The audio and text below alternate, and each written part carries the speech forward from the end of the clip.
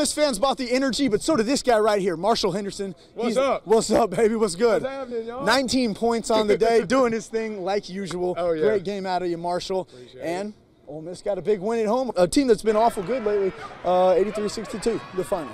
Well, that's where I think we're improving as a team. You know, we need Marshall and Jarvis to be all league caliber players, and I think to this point they're both playing as such. And we've got to get contributions from different people. We knew coming into the year that the biggest void was along our front line, losing two guys that had done so much for this program. Sebus, AJ, Bear, Coleby, we're playing Anthony Summit, that four spot. We're having to do it by committee, and Anthony's getting more comfortable, and as those freshmen get more minutes, I think we're seeing more production. He just bring that, that like like the crowd do with the um um support and he just like his energy it just boosts us and make want to go hard. Next test up for Ole Miss, a little bit more difficult. Tennessee, Jordan McRae, Jarnell Stokes come to town. It's not going to be an easy win for these guys. Reporting here from Oxford at the Tad Pad, Andy Burrell, CW30 Sports.